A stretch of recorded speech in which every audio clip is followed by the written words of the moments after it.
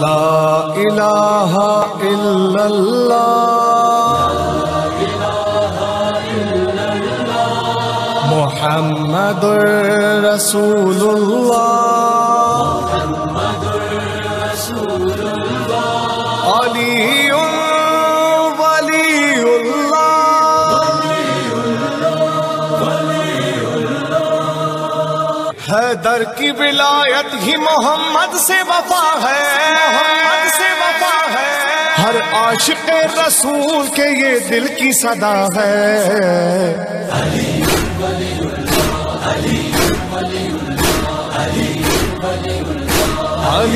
वलीउल्लाह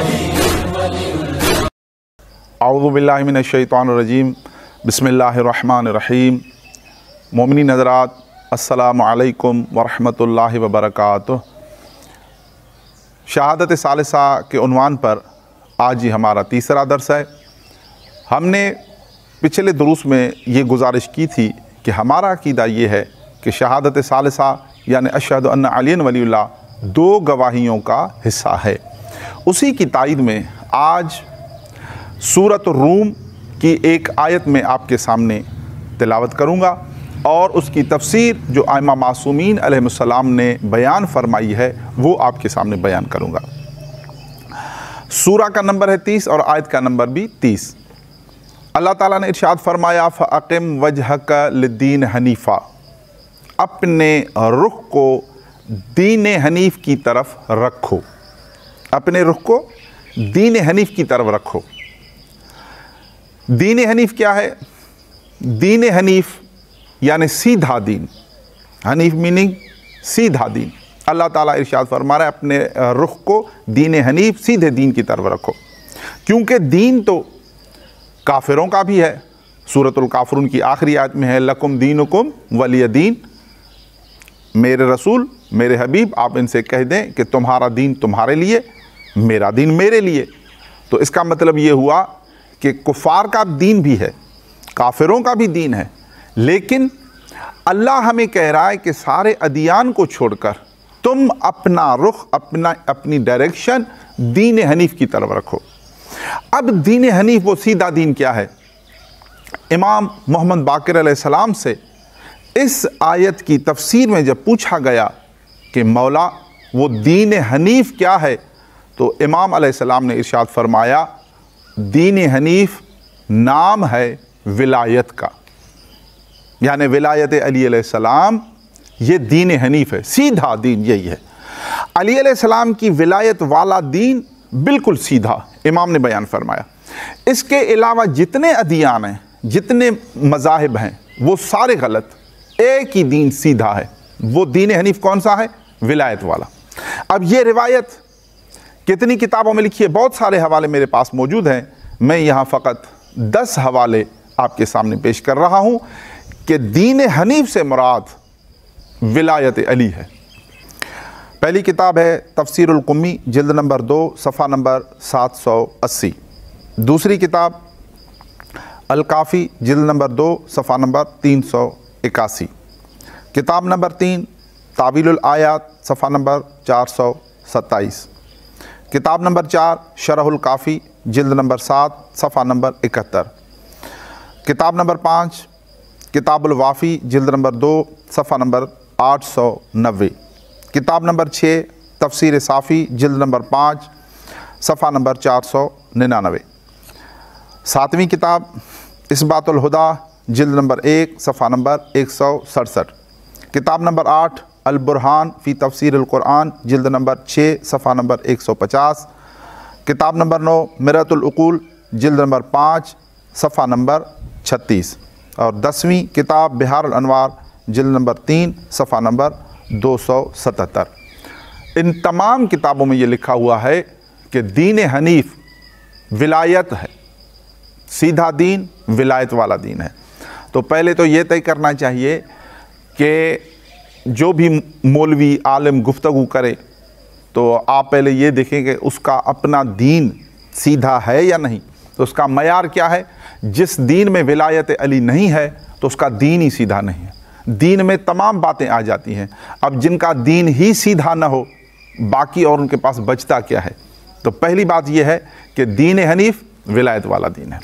इसी आयत में आगे अल्लाह ताला ने इरशाद फरमाया फितरत अल्लाती फ़तर नास अलैहा। यही वो फितरत है जिस पर अल्लाह ताला ने लोगों को पैदा किया है। अब वो कौन सी फितरत है जिस पर अल्लाह ताला ने लोगों को पैदा किया है? उसके बारे में मैं एक रिवायत पढ़ रहा हूँ। हवाले बहुत सारे मैं फ़कत एक किताब से हवाला दे रहा हूँ। किताब का नाम है बसायर दरजात जिल नंबर एक, सफ़ा नंबर एक सौ उनसठ पर। इमाम जाफ़र सादिक सलाम ने फितरत की तफसीर करते हुए बताया, पूछा गया, मौला, फितरत से मुराद क्या है? तो इमाम ने इर्शाद फरमाया कि फ़काल अलतौहीद व मोहम्मद रसूल व अली अमीरमिन लोगों को तोहद पर, मोहम्मद रसूल्ला पर और अली की विलायत अली अमीरमिन इन तीन गवाहियों पर पैदा किया गया है। फितरत में है ये तीन गवाहियाँ।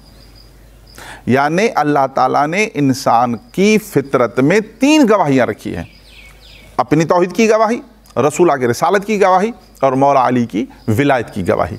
तो जब इमाम ने बता दिया कि इंसान की फितरत में, यानी कायनात में जब इंसान का वजूद, इंसान बन रहा है तो उसकी खिलकत में, उसकी फितरत में अल्लाह ने तीन गवाहियाँ रख दी है।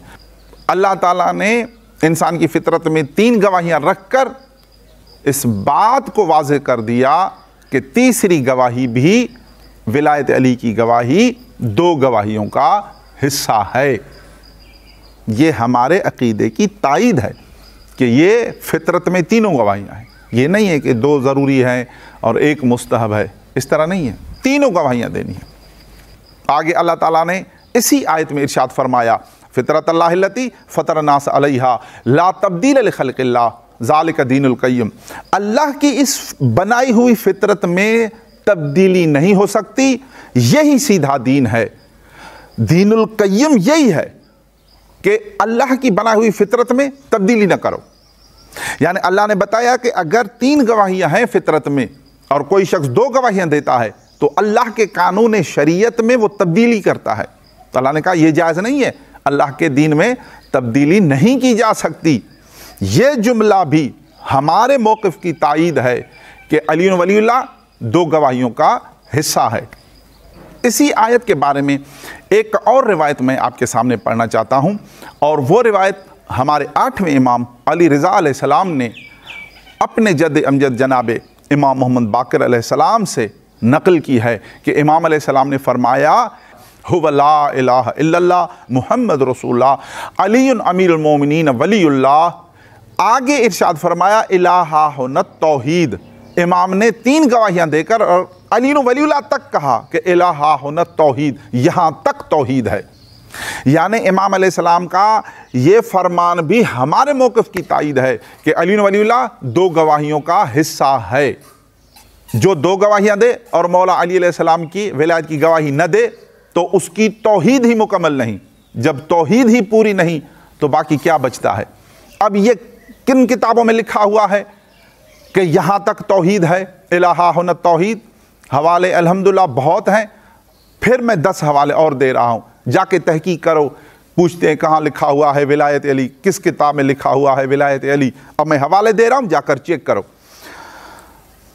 किताब नंबर एक तफसीरकमी जल्द नंबर दो, सफ़ा नंबर एक सौ पचपन। किताब नंबर दो, मनाकब आल अबी तालिब, जल्द नंबर छः सफ़ा नंबर तीन सौ तिरानवे। किताब नंबर तीन नवादरअखबार सफ़ा नंबर एक सौ सत्रह। किताब नंबर चार, किताब साफ़ी फ़ी तफसीर क़ुरान जल्द नंबर पाँच, सफ़ा नंबर पाँच सौ।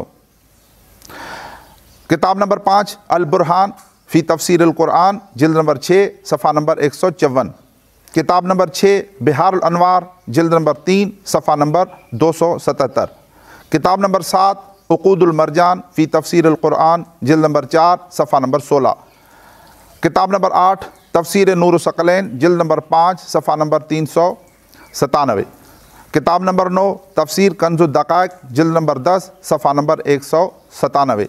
किताब नंबर दस, अलमीज़ान फ़ी तफसीर क़ुरान जिल नंबर ग्यारह, सफ़ा नंबर एक सौ सतासी। दस किताबें मैंने और गिनवा दी। इन तमाम किताबों में लिखा है कि यहाँ तक तोहद है। ये हमारे मौक़ की तइद है कि शहादत सालसा, तीसरी गवाही दो गवाहियों का हिस्सा है। अगर फिर भी इतमान न हो तो एक हवाला और दे देता हूँ। और वो है, खुमैनी साहब ने भी इस आयत की तफसीर में ख़ुद तस्लीम किया है कि हाँ बिल्कुल यहाँ तक तोहद है। और खुमैनी साहब की किताब पर जो तहकीक हुई है, कुरानी आयात को जमा किया गया है। तो उस किताब का नाम है तफसीर शवाहिद कुरानी, जल्द नंबर दो, सफ़ा नंबर 150 पर खुमैनी साहब ने भी तस्लीम किया है। कि यहाँ तक तोहीद है। अली वलील्ला तक तोहीद है। तो अली वलील्ला के बग़ैर तोहीद भी मुकम्मल नहीं हो सकती। खुलासा कलाम क्या है? दीन हनीफ, विलायत अली का दीन है। अल्लाह ताला ने इंसान की फितरत में तीन गवाहियाँ रखी हैं। अल्लाह ताला इसमें तब्दीली करने को सही नहीं समझता। और अली वलील्ला तक तोहीद है। तो ये थी हमारे मौक़ की तइद के अली वली दो गवाहियों का हिस्सा है। वसलाम अलैकुम